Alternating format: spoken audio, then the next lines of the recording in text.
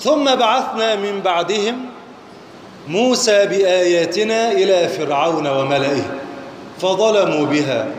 فانظر كيف كان عاقبة المفسدين. ثم بعثنا من بعدهم بعد مين؟ بعد الأمم اللي ذكرت في السورة. سيدنا نوح وسيدنا صالح وسيدنا هود وسيدنا شعيب وسيدنا لوط جاء بعدهم مين؟ سيدنا مين؟ موسى عليه السلام. وأكثر قصة ذكرت في القرآن قصة مين؟ قصة موسى عليه السلام. لأن فرعون يعني طغى في الأرض وادعى الألوهية والربوبية.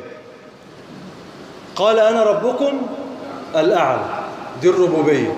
قال أنا الرب. وقال أنا الإله ما علمت لكم من إله الغير الاثنين حتى بعض المفسرين في قوله تعالى فأخذه الله نكال الآخرة والأولى. قالوا هم الكلمتين دول. اللي هو قال أنا ربكم الأعلى وقال ما علمت لكم من إله غير.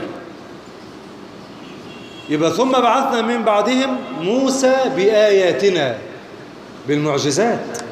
أتى موسى بمعجزات؟ تدل أنه رسول من عند الله إلى فرعون وملئه. يعني إلى فرعون وقومه. فظلموا بها.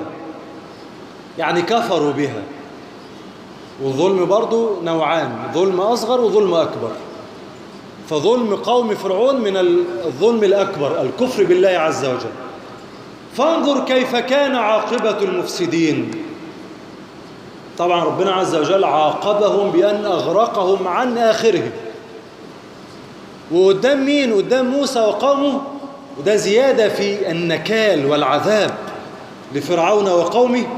وأشفى لقلوب أولياء الله موسى وأتباعه.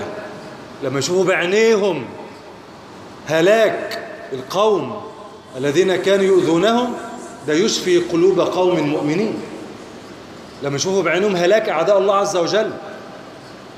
ولما العدو يهلك أمام من اتخذه عدوا اللي هم الناس الصالحون ده برضه بيكون أبلغ في الإيلام والشدة والعذاب. والإغراق ده نوع من العذاب الشديد إنك تموت بهذا الشكل. فربنا عز وجل أهلكهم وأبادهم سبحانه وتعالى. فانظر يعني اعتبر كيف كان عاقبة المفسدين.